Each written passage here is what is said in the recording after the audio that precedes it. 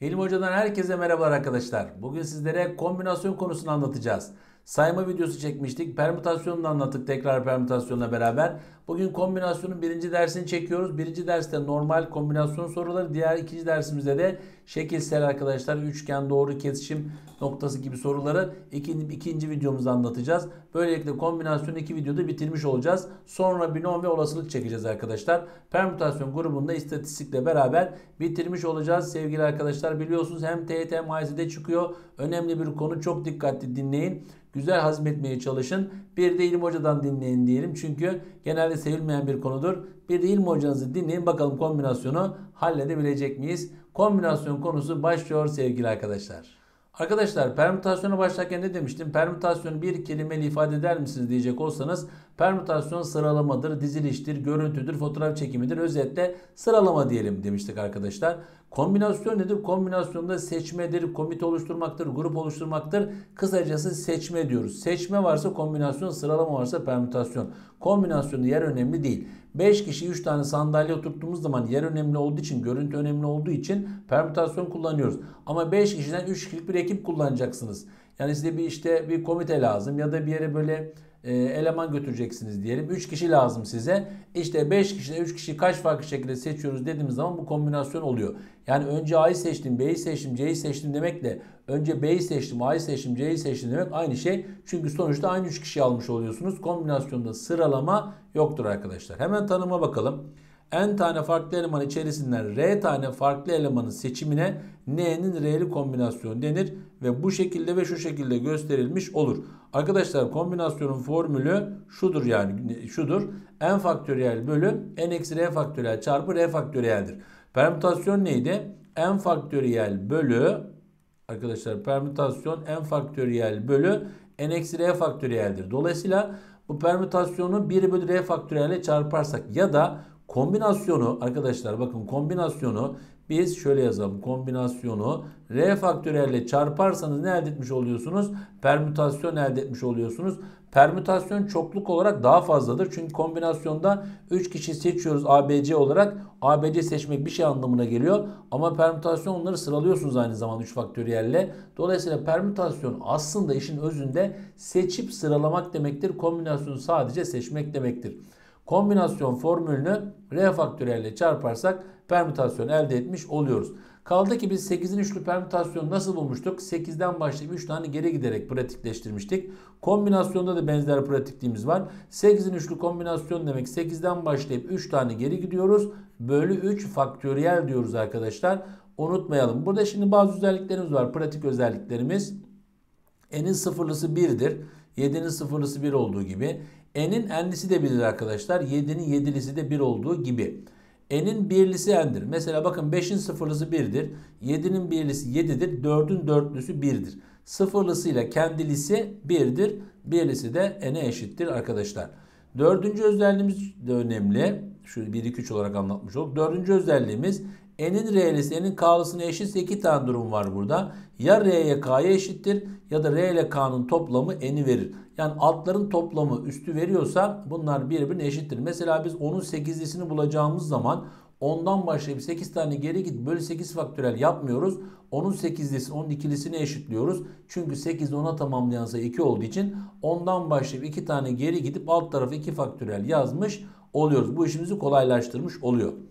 Beşinci özelliğimiz arkadaşlar n'in r'lisi ile n'in r artı birlisi n artı 1'in r artı 1'lisine eşittir. Çok kullanma özellik değil ama çok kullanılan bilmekte fayda var. Mesela 7'nin 3'lü 7'nin 4'sünü topladığımız zaman altlar ardışık gidiyor. Bakın bunun bir fazlasını yani 8'in 4'lüsü şeklinde olmuş oluyor.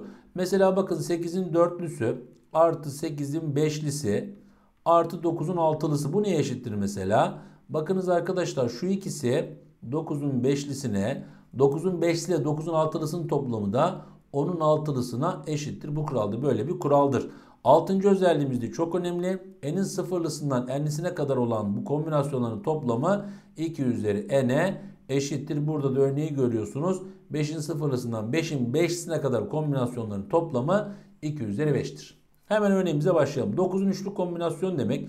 9'dan başla 3 tane geri git bölü 3 faktöriyel. 3, 2, 1. 1 yazmaya gerek yok. 8'in ikili kombinasyonu 8, 7 bölü 2 faktöriyel demektir. 2 çarpı 1 yani orası. 6'nın birisi zaten 6'dır. Bakın 3 ile 9'u sadeleştirelim.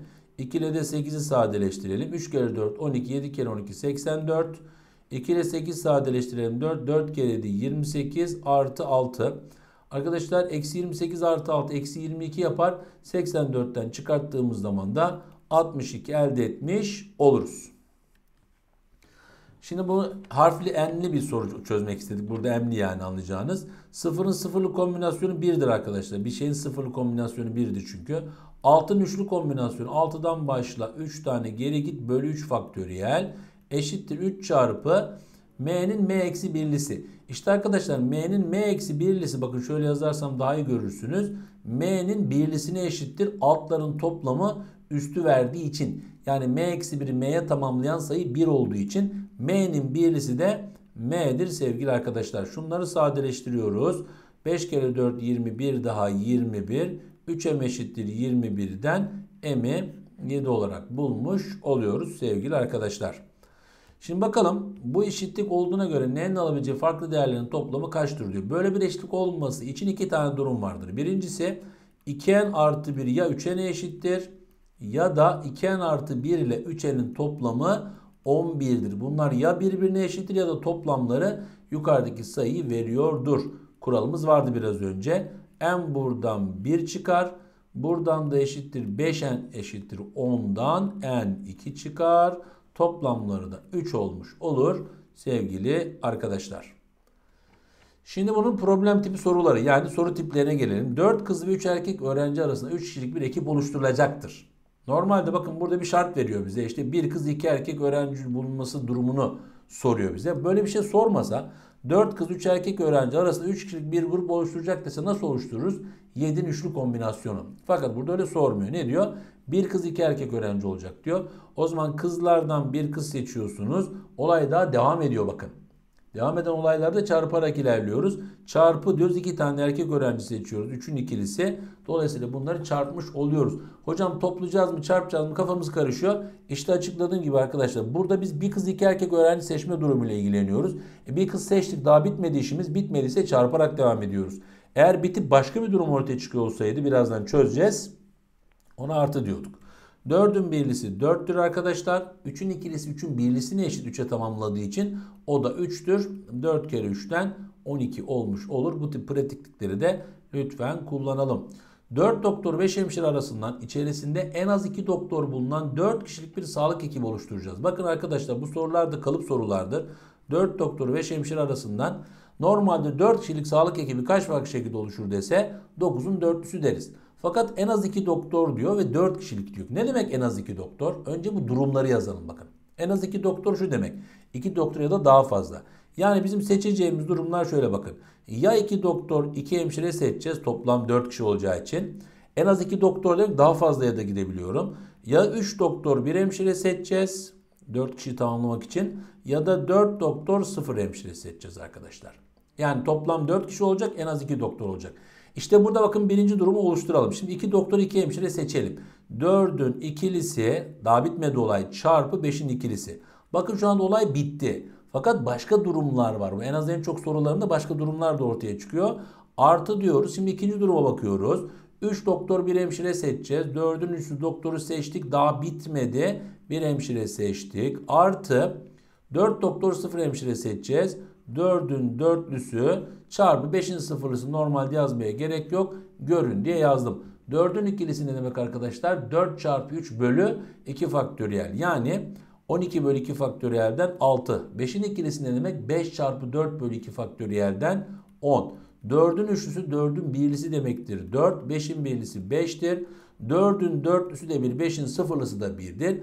60 artı 20 artı 1'den cevabımız 81 olmuş oluyor. Bu en az en çok sorularında önce durumları yazmanızı tavsiye ederim. Tatile gönderecek olan 8 kişiden 3'ü Bodrum'a, 3'ü Marmaris'e, ikisi Fethiye'ye kaç farklı şekilde gönderilir? O zaman karşımızda 8 kişi var. 3'ünü Bodrum'a, Bodrum'a göndereceğiz. Hangi 3'ü seçiyoruz? 8'in üçlüsü. Olay bitti mi? Hayır. Daha Marmaris'e göndereceğiz. Peki kaç kişi kaldı karşımızda? 5 kişi. O 5 kişiden 3'ünü Marmaris'e gönderdik. Kalan 2 kişiden iki, ikili olarak da Fethiye'ye göndermiş oluyoruz. 8'in üçlüsü demek arkadaşlar. 8, 7, 6 bölü 3 faktöriyelden bunlar gider 56. 5'in üçlüsü 5'in ikilisi demektir. 5 çarpı 4 bölü 2 faktöriyelden 10. İkilisi de, ikilisi de 1 yapar. Cevap da buradan 560 yapmış olur. Hemen diğer sorumuza geçelim. Bir otel 3 yataklı 2 oda. Bakın 3 yataklı 2 oda. 4 yataklı bir oda boştur. Belirli 3 kişi aynı odada kalmak koşuluyla 10 kişilik bir ekip odalara kaç farklı şekilde yerleşebilir? Şimdi normalde o şart olmasaydı 10 kişiden önce 3'ünü seçerdik. Onun üçlüsü birinci odaya. Kalan 7'den 7'nin üçlüsü ikinci odaya. 4'ün 4'ü üçüncü odaya çarparak olay devam ettiği için yazardık. Fakat şart söylemiş. O zaman bu 3 kişiyi belli bunlar. Yani Ahmet, Mehmet, işte Hasan diyelim. Arkadaşlar bu 3 kişiyi buraya koyduğumuzu varsayalım. Önce onu yapalım. Şu 3 kişiyi buraya attık. Belli onlar. 7 kişi kaldı. O 7 kişiden 3'ünü ikinci odaya seçiyorum. Kalan 4'ünü üçüncü odaya atıyorum. Bu birinci durum. Artı şimdi bu 3 kişiyi belli 3 kişi ikinci 3 kişilik odaya koyarsak Arkadaşlar burada da işlemsel olarak aynı şeyi yapacağız. Çünkü bu da 3 kişilik olduğu için işlemsel olarak aynı şeyi yapacağımız için buraya biz şöyle yapalım pardon. Buraya biz silecektik. Çarpı 2 diyelim. Çünkü aynı şeyi yazacaktık. Çarpı 2 diyelim. Artı şimdi bu belli 3 kişiyi 4 kişilik odaya koyduk. Buraya dikkat edelim şimdi. Bakın o 7 kişi kaldı karşımızda. O 7 kişinin şu 4 kişilik oda bir kişilik yer kaldı ya arkadaşlar. Birini oraya seçiyorum. 4 kişilik odadaki boş kalan yere. Arkadaşlar önce hangi odayı seçmek de problem değil. Kombinasyonda yer önemli değil. Sıra önemli değil. O nedenle önce hangi odayı seçmeniz önemli değil. 7 kişiden birini o 4 kişilik odadaki boş yere seçmiş oldum. 6 kişi kaldı. Onda 3 kişilik odalardan birine attım. Hangi oda olduğu önemli değil. Yani sonuçta onu seçip oraya atıyorsunuz. Sıralama önemli değil kombinasyonda. Kalan 3 kişiyi de en son kalan odaya atmış oluyorsunuz. 7'nin üçlüsü 7 6 5 bölü 3 faktöriyelden 35 çarpı 1 çarpı 2. 7'nin birlisi 7. 6'nın üçlüsü 6 5 4 bölü 3 faktöriyel. Bunları sizler yazarak yaparsınız diye burada açıkçası yazmadım. 70 artı 140'tan cevap 210 olmuş olur sevgili arkadaşlar. Yine güzel bir soru. Kümesin 3 elemanlı alt kümelerinin kaç tanesinde elemanların çarpımı negatif tam sayıdır diyor. 3 eleman seçeceğiz. Çarpım negatif olması ne olması lazım? Ya 3'ü de negatif olması lazım ya da 1 negatif 2 pozitif olması lazım. İki durum var bakın. İkisi ayrı ayrı bulup toplayacağız. Şimdi kaç tane negatifimiz var peki? 4 tane negatifimiz, 5 tane pozitifimiz var. 0 ne negatif ne pozitiftir. O zaman 4 negatiften 3 negatif seçtik. Olay bitti. 3 sayı seçecektik. Fakat başka bir durum olduğu için artı diyoruz. 3 sayı seçeceğiz toplam. 4 negatiften birini seçtik. Olay daha bitmedi. 2 tane de pozitif seçeceğiz. Kaç pozitiften? 5 pozitiften 2 seçeceğiz arkadaşlar. 4'ün üçlüsü 4'ün birlisine eşittir. 4'ün birisi de 4'tür. 5'in ikilisi de 5 çarpı 4 bölü 2 faktöriyelden 10'dur. Buradan da cevap 44 olmuş olur sevgili arkadaşlar. Şimdi bakın çıkmış bir sorunun benzeri çok güzel bir soru. Aşağıda bir kırtasiyede satılan bakın problem, paragraf ve denemelerden yayınlar var. A, B, C'de yayınları ve yanlarında fiyatları verilmiş. Bu kırtasiyeden bir tane problem kitabı, bir tane paragraf kitabı, bir tane deneme alıp 50 TL ödeyecek olan bir öğrenci bu seçimi kaç farklı şekilde yapabilir? Normalde fiyat olmasın birer tane seçeceğim kaç farklı şekilde seçeceğim deseydi 4'ün birisi çarpı 5'in birisi çarpı 4'ün birisi diyecektik. Fakat şu anda toplam 50 lira ödeyecek şekilde ne yapmamız lazım? Bakın problem kitabı, paragraf kitabı ve deneme kitabı. Toplam 50 TL'yi nasıl buluruz? Buradan 20 TL'lik, buradan 20 TL'lik ve buradan 10 TL'lik seçersem 50 TL'yi bulurum. Başka bir durum daha var.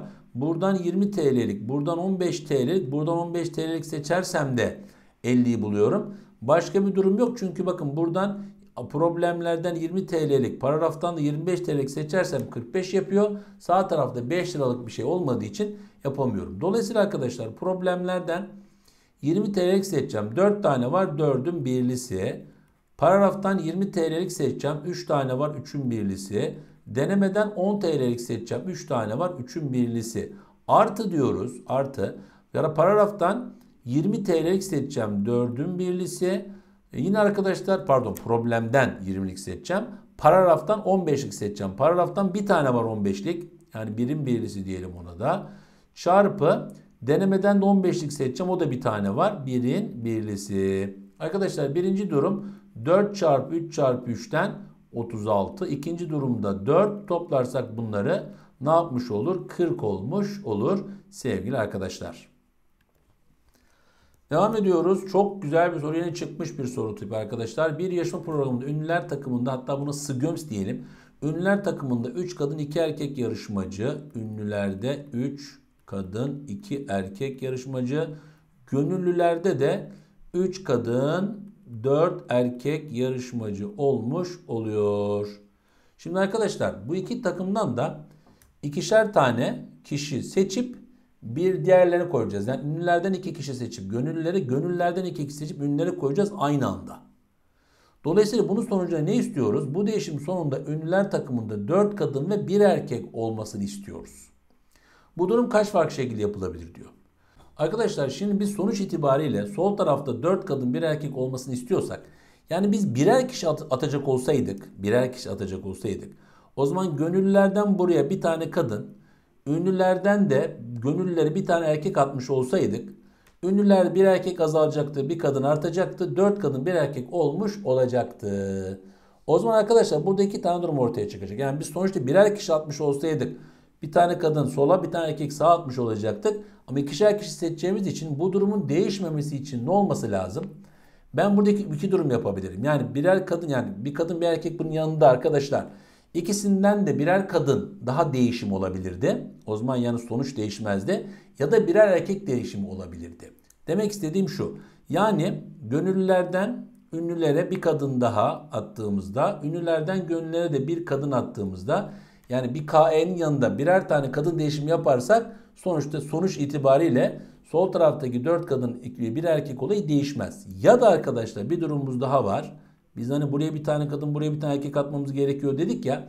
Ya da işte mesela diğer birer kişi de ikisi de erkek olursa yine sonuç itibariyle aynı kapıya çıkmış oluruz. Şimdi birinci durumu yazalım. Yani gönüllülerden ünlüler iki kadın seçeceğim. 3'ün ikilisi çarpı ünlülerden gönüllülere bir erkek bir kadın seçeceğim. Yani 3'ün birlisi olay devam ediyor. Çarpı 2'nin birlisi. Artı şimdi ikinci durumu yazacağım. Birinci durumu yazdık. İkinci durumu yazacağım. Gönüllerden ünlülere bir erkek bir kadın seçeceğim. Yani 3'ün birlisi çarpı 4'ün birlisi. Olay daha bitmedi. Ünlülerden de gönüllüler iki tane erkek seçeceğim. 2'nin ikilisi. Buradan olay çıkacak arkadaşlar. 3'ün ikilisi 3'ün birlisine eşit. 3 çarpı 3 çarpı 2. Burası da 3 çarpı 4 çarpı 1 olacak. Yani 18 artı 12'den cevap 30 olmuş olacak. Çok güzel bir soruydu sevgili arkadaşlar. Yine çıkmış bir sorunun benzeri. 5 tane hücresi arkadaşlar 8 hücrede oluşan bir tablo var. 5 hücresi siyah boyanacak. Her satırda en az 2 tane boyalı hücre olması isteniyor. Dolayısıyla arkadaşlar toplam 5 hücre boyayacağız fakat en az 2 tane olması gerekiyor her satırda. O zaman buradan 2 tane buradan 3 tane boyayabiliriz. Ya da arkadaşlar buradan 3 tane buradan 2 tane boyayabiliriz. Başka bir durum yok. Alt taraftan 4 boyasak üst taraftan 1 boyamamız lazım. Olmaz. Üst taraftan 3 boyasak alt tarafta 2 yaptık zaten. Üst taraftan da başka olmayacağı için durumlarımız bu. Yani birinci satırdan 3'ün ikilisi 2 tanesini boyuyorum. İkinci satırdan 3 tanesini. Şu anda birinci durum bitti. Artı yani birinci durum dedim şu. Şunu yaptım şu anda. Şimdi bunu yapacağım. Birinci satırda 3 taneden 3'ünü boyayacağım. İkinci satırda 5 taneden ikisini boyayacağım. Arkadaşlar 3'ün ikilisi 3'ün birisine eşittir 3'tür. 5'in üçlüsü 5'in ikilisine eşittir. 5 çarpı 4 bölü 2 faktöriyelden 10'dur. 3'ün üçlüsü 1'dir. 5'in ikilisi 10'dur. 30 artı 10'dan da cevap 40 çıkmış olur sevgili arkadaşlar. Yine güzel bir soru. Yüksek öğrenim için A ve B ülkelerine gönderilmek üzere 5 öğrenci seçilmiştir. Her iki ülkeye en az birer öğrenci gideceğine göre bu 5 öğrenci kaç farklı gruplama ile gönderilir diyor arkadaşlar. Her ikisine de en az bir tane göndereceğiz. Yani 1 buraya 4 buraya 2 buraya, 3 buraya, 3 buraya, 2 buraya, 4 buraya, 1 buraya göndereceğiz. Böyle yapabiliriz. Yapalım bakın. Birinci durumu yapalım şunu birinci durumu. 5 kişiden birini seçiyorum. 5'in birlisi çarpı 4'ün dörtlüsü yazmama gerek yok. Kalanları da B'ye gönderiyorum gibi düşünün. İkinci durum 5 öğrencinin ikisini seçiyorum A'ya gidecek olanları. Kalanları B'ye atıyorum 3'ün üçlüsü. Üçüncü durum 3'ünü seçiyorum A'ya gidecek olanları. Kalanları B'ye gönderiyorum. 4'ünü seçiyorum. Kalanları B'ye gönderiyorum. Arkadaşlar bunu tek tek yapmaktansa şu şekilde yapabiliriz. Bir tane kuralımız vardı biliyorsun. 5'in sıfırısından 5'in 5'sine kadar hepsinin toplam 2 üzeri 5 yapıyordu. İşte burada ben 2 üzeri 5'ten neyi çıkaracağım? Burada olmayan 5'in sıfırlısıyla 5'in 5'lisini çıkarmış olacağım arkadaşlar. 2 üzeri 5 32 yapar. 5'in sıfırlısı da 1'dir. 5'in 5'lisi de 1'dir. 32'den 2 çıkarttığımız zaman da cevabı 30 bulmuş oluruz sevgili arkadaşlar. Çok önemli bir soru. Sıgöms bir soru. Permütasyon videomuzda tekrar permütasyon kısmında anlatmıştım. Özdeş oyuncak sorusuna benzeterek bir soru sormuştum. Para kumbara sorusu. Kombinasyonu bir tane çözeceğim demiştim. İşte bu arkadaşlar 12 özdeş hediyenin tamamı 3 çocuğa dağıtılacak diyor. Ne yapıyorduk burada? Arkadaşlar 12 tane yuvarlak çiziyorduk. 12 tane özdeş oyuncağı temsilen 3 çocuk dediği zaman kaç tane ayraç kullanıyorduk? 2 tane ayraç kullanıyorduk. 2 ayraç kullanıyorduk ki 3 tane aralık olsun. Hangi çocuğa kaçar tane oyuncak dağıtıldı belli olsun. Normalde şu şart olmasaydı 12 özdeş hediyenin tamamı 3 çocuğa kaç farklı şekilde verilecek diye sorulmuş olsaydı arkadaşlar biz normal işte 14 faktöriyel bir 12 faktöriyel çarpı 2 faktöriyel yapardık. Hatta o zaman hatırlarsanız kombinasyon mantığıyla da çözüyorum demiştim. Neydi o? İki tane durum olduğu zaman burada bakın iki tane durum var. Yani hani bir yuvarlak ve bir de slash var, ayraç var. Dolayısıyla biz burada 14'ün ikili kombinasyonu diye çözebilirdik. Fakat bu soruda şöyle bir şey diyor bakın. En az 2 hediye vermek şartıyla diyor. O zaman biz bu soruya başlarken şöyle yapacağız. Sonuçta hangi hediyenin nereye gittiği önemli değil. Özdeş olduğu için hediyelerimiz. Biz bu çocuklar ikişer tane hediye baştan verelim. Bu şekilde bakın ikişer tane hediye vermiş olduk çocuklarımıza baştan. Sonuçta bundan sonra dağıtacağımız bu 6 tane hediyeyi dağıttığımız zaman ikişer hediyenin üzerine geleceği için her biri en az 2 hediye almış olacak. İşte 6 özdeş oyuncak da diyebiliriz. 3 çocuğa dağıtma sorularında 6 yuvarlak 2 slash yaptığımızda tekrar permütasyondan 8 faktörel bölü 6 faktörel çarpı 2 faktörel yapmamıza gerek yok. Direkt burada 8'in ikili kombinasyonundan soruyu çözebiliriz. O da 8 çarpı 7 bölü 2 faktöriyelden cevap 28 olmuş olur sevgili arkadaşlar. Bu da Göms. Bu da çok güzel bir soru. Bu da özdeş oyuncak sorusu. Ne alakası var hocam? Ne alakası var özdeş oyuncak sorusu edecek olursanız. Bakın burada bize ne demek istiyor? A ile B, A artı B artı toplamı 4. Kaç farklı üçlü vardır diyor. Yani toplamları 4 olan kaç farklı üçlü vardır diyor. Şu soru bu, bu soru şuna benzemiyor mu arkadaşlar? 3 tane çocuk var, 4, 4 tane oyuncak var. Kaçar tane dağıtıyorsunuz? İşte mesela 1 1 2 böyle dağıtabiliriz. 0 0 4 böyle dağıtabiliriz. 2, 0, 2 böyle dağıtabiliriz değil mi? İşte bunlar sanki 3 tane çocuk var. 4 özdeş oyuncak var sorusu gibi oluyor. O zaman 4 özdeş oyuncağı çiziyoruz. 3 çocuğa da 2 tane ayraç yapıyoruz. Kombinasyon bildiğimiz için artık 6'nın ikilisi şeklinde soruyu çözmüş oluyoruz. 6 çarpı 5 bölü 2'den de cevap 15 olmuş olur. Eğer şöyle olsaydı e, mesela ABC doğal sayı demeyip de pozitif tam sayı deseydi bu da şu soruya benzemiş oluyor. Her çocuk en az bir tane oyuncak alacak sorusuna benzemiş oluyor. Yani o zaman da şöyle yapıyoruz. Bakın kırmızıyla anlatalım. Eğer pozitif tam sayı deseydi 4 tane oyuncağımız var. 3 tane çocuğumuz var. 2 ayraç yapıyoruz. Her çocuk en az bir tane alacak anlamına geliyordu. Sıfır veremiyoruz çünkü. O zaman 3 tane oyuncağı birer çocuğa dağıttık. Şu kaldı elimizde. 3'ün birlisi şeklinde cevabı bulmuş oluruz. Çok önemli bir soruydu. Sıgöms bir soruydu arkadaşlar. 3 aynı saatte olan 9 dersten, dersten 4 ders seçmek istiyormuş. 3 aynı saatte oluyorsa 6'sı da bunların dışında 4 ders seçecekse buradaki esprin arkadaşlar aynı saatte verilenlerden en fazla bir tane seçebilir. 2 tane seçse hangisine gidecek? Dolayısıyla Bir tane buradan 3 tane buradan seçebilir ya da buradan hiç seçmeyip 4'ünü de buradan seçebilir. Yani 3 dersten biri bitmedi daha olay. 6 dersten 3'ü bitti. Yeni bir durum var yani 4 ders seçmiş olduk bitti. Ya da 3 dersten hiç seçmeyip 6 dersten 4 tane seçerek de bu soruyu çözebiliriz. 3'ün birlisi 3. 6'nın üçlüsü 6, 5, 4 bölü 3 faktöriyelden 6 ile 3 faktöriyel gitti 20. 3'ün sıfırlısı 1. 6'nın dörtlüsü 6'nın ikilisine eşittir arkadaşlar. 30 bölü 2'den 15. Cevap da buradan 60 artı 15'ten 75 olmuş olur. Bir diğer sorumuz bu da çok güzel bir soru tipi. Eski yıllarda çıkmış bir soru tipi. Her an yine çıkabilecek bir soru tipi arkadaşlar. A küçük B küçük C şartıyla kaç tane 3 basamaklı ABC sayısı yazılabilir sorusu sorulabiliyor. Arkadaşlar buradaki olay şu. Tek hamlede yapabiliyoruz. Kaç tane rakamımız var bizim? 10 tane rakamımız var. Şimdi biz bu 10 tane rakamdan şimdi sıfırı seçemeyiz. Çünkü sıfırı seçtiğimiz zaman hani en küçük olan A yüzler basamağına geleceği için sıfırı seçtiğimiz anda başa gelmiş oluyor. O zaman şöyle yapacağız arkadaşlar birinci öncülümüzde. 9 tane rakamdan 3 tanesini seçeceğiz. Bu bizim cevabımız olacak. Çünkü 9 tane rakamdan seçtiğimiz her üçlüden şu şarta uyan bir tane sayı çıkartabiliyorsunuz. Mesela 7'yi seçtim, 1'i seçtim, 2'yi seçtim dediniz diyelim. Buradan 127 yazabiliyorsunuz. A küçük, B küçükçe, küçükten büyüğe doğru olacağı için. Atıyorum 8'i seçtim, 5'i seçtim, 1'i seçtim sorusundan sayılarından 158'i yazabiliyorsunuz. Dolayısıyla 9 rakamdan 3 rakamı kaç farklı şekilde seçerseniz o kadar ABC 3 basamak sayısı yazıyorsunuz. A küçük B küçük C şartıyla. Bu da arkadaşlar 9, 8, 7 bölü 3 faktöriyeldir. 3 faktöriyel 6 biliyorsunuz. Şöyle sadeleştirelim. 3 kere 4 12 7 ile çarparsak 84 doğru. İkinci öncülümüze gelelim. A büyük B büyük eşit C diyor arkadaşlar. Bunu şöyle yapıyoruz. Bu A büyük B büyük C ile A büyük B eşit C'nin birleşimi olmuş oluyor. Büyük eşit demek bu demek. Ya eşit ya büyük. O zaman önce bunu yapalım. A büyük B büyük C nasıl olur arkadaşlar? Onun üçlüsü olur. Çünkü sıfırı bu zaman seçiyoruz. Hani A, B, C, A başa geliyor. A büyük B büyük C dediği için sıfır seçtiğimizde otomatikman en sona geliyor. Sıkıntı yok. Artı peki arkadaşlar A büyük B eşit C'yi nasıl yapacağız?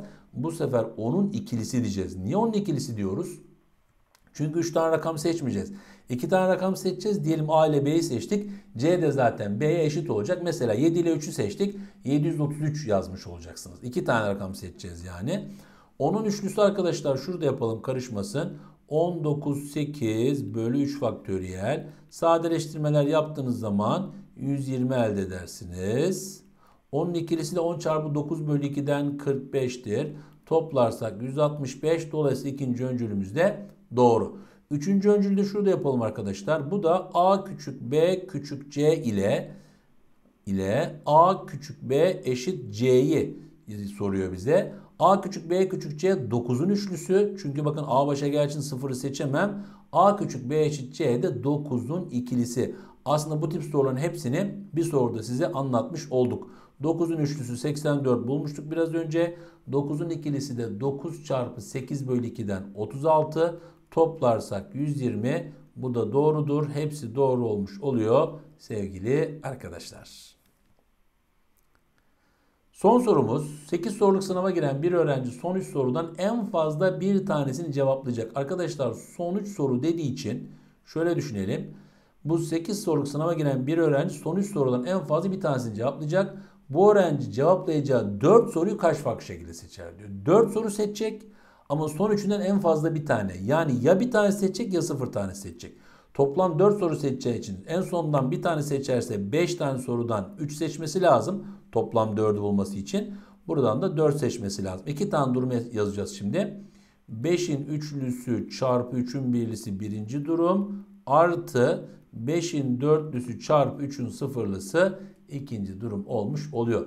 5'in üçlüsü 5'in ikilisine eşittir 10'dur. Çarpı 3 5'in dörtlüsü 5'in birlisine eşit. Dolayısıyla cevap da buradan 35 olmuş olur. Sevgili arkadaşlar böylelikle kombinasyon konusunun birinci dersini bitirmiş olduk. İkinci dersinde şekil soruları çözeceğiz. Görüşmek üzere. Kendinize iyi bakın arkadaşlar.